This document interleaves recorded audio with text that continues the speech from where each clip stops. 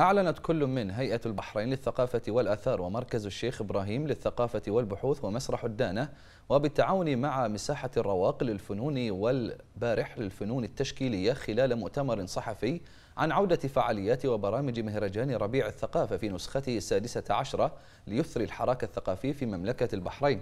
نعم وشهد المؤتمر الصحفي والذي أقيم في مسرح البحرين الوطني حضور معالي الشيخة مي بنت محمد الخليفة رئيسة هيئة البحرين للثقافة والآثار وعدد من الشخصيات الدبلوماسية والسفراء المعتمدين لدى البحرين إضافة إلى تواجد مجموعات من الداعمين لمهرجان ربيع الثقافة السادس عشر والمهتمين بالشأن الثقافي.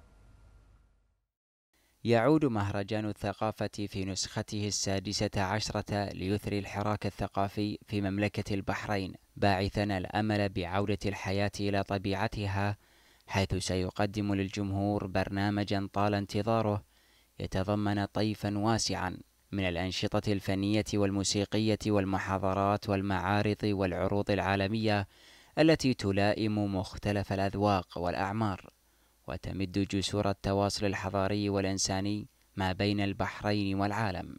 وقد شهد إعلان عودة فعاليات وبرامج مهرجان ربيع الثقافة في نسخته السادسة عشرة حضور معالي الشيخة مي بنت محمد آل خليفة رئيسة هيئة البحرين للثقافة والآثار وعدد من المهتمين بالشأن الثقافي. مثل كل عام ينطلق ربيع الثقافة في موعده المحدد في 25 فبراير يوم السياحة العربي الذي أطلقته مملكة البحرين ليكون يوما للترويج للسياحة الثقافية. ونبدأ هذا العام بعرض الإخناتون ويليه عدد من البرامج التي تكاتفت عدد من الجهات لتشكيلها وتنويعها أيضا. يستقبل مسرح البحرين الوطني الكثير من الفعاليات وكذلك المؤسسات الخاصة ومسرح الدانا الشريك الرئيسي في هذا العام وعلى مدى سنوات كانت الفعاليات هي التي تجذب.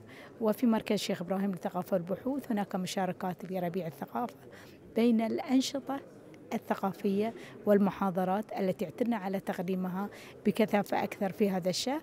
ننطلق هذا العام بهذه الافتتاحية ونتمنى أن تكون حائزة على رضا الجمهور الذي ننتظره بكل شوق.